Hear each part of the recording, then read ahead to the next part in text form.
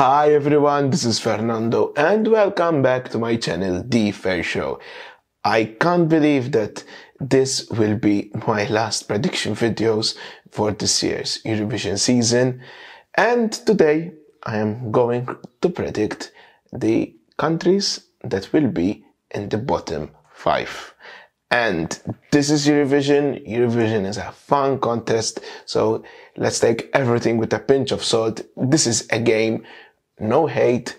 Let's have fun predicting the bottom five countries. And I hope that you will leave a comment with your countries that you believe that they are coming in the bottom five. So let's have fun and let's start! My first prediction goes to Germany Malik Harris and his entry Rockstars. I'm gonna be honest with you. I do love this entry. It's chilling. It's a song that I enjoy listening to. And honestly, I don't believe that this entry deserves to be in the bottom five.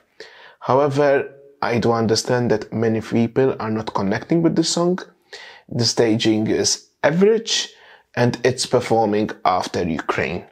And also it's performing number 13. And number 13 normally is a lucky number. So I don't know. This is what I believe that Germany unfortunately will be in the bottom five. I think we heard worse songs from Germany, but it is what it is and someone needs to reach the bottom five, right? So another country which I believe it will be in the bottom five, it's Monika Liu from Lithuania and her entry Sentimentai. I have to admit that I never connected with the song and like me, there are a lot of other people who don't connect with the song. The fact that this entry made it to the final from semi-final one, she is already a winner.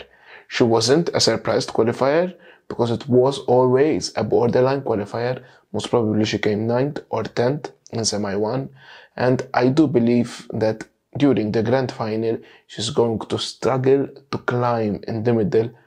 And for this reason, I think that Lithuania will be in the bottom five. Another entry, which most probably will be in the bottom five, it's Iceland, the group Systur, and their entry Moi Hattur Soy. I'm being honest with you, I always struggle to talk about this title because it's very, very difficult for me because I don't speak Icelandic I mean, this is a wonderful ballad with a wonderful message behind it. And for me, this was the most shocking qualifying entry from both semis. So I was really shocked that Iceland made it to the final. However, I'm glad that they made it because their song is okay. I did really enjoy the performance in semi-final one, so I do understand why this entry qualified. However, I think this entry will struggle to climb in the middle and even in the top 10. However, again, I think that this country won a lot. The fact that they qualified for this, I congratulate them and let's see what happens during the grand final. Another entry which I believe will be in the bottom five, it's Romania, their entry Llámame by Wurs. And I have many reasons why I believe that this entry will be in the bottom five. To start with, it will be sang in what's so called the dead spot, the second song in the evening. And normally EBU puts a weak song in spot two. So there is, that is the first indication that Romania most probably was the 10th entry to qualify. Secondly, during the semi, I realized that his focus can be weak.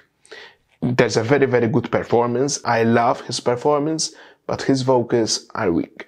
And for these reasons, I believe that by the end of the show, this entry will be lost and forgotten, and most probably it will be in the bottom five. However, again, I believe that Romania won a lot. The fact that this year the, the big five countries are have really, really, really strong entries, and the fact that it's been three years since Romania qualified, I do believe that they deserve to be there because Eurovision is all about bringing joy, bringing hope, and after three years, Romania deserve to be in this final. So well done, Romania, and good luck.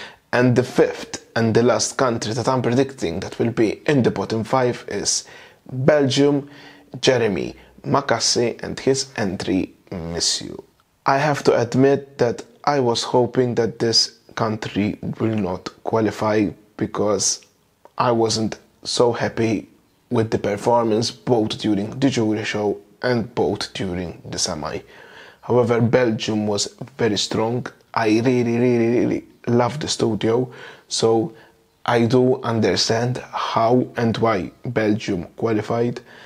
However, again, I think that there are many stronger entries than this one, especially stage wise. Most of the people watch Eurovision for the first time on Saturday during the grand final.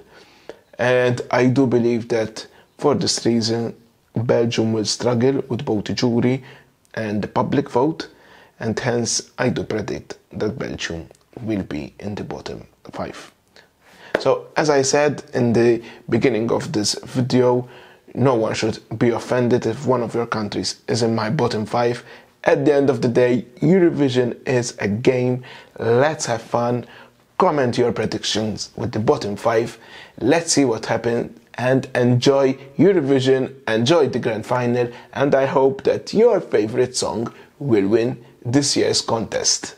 See you soon!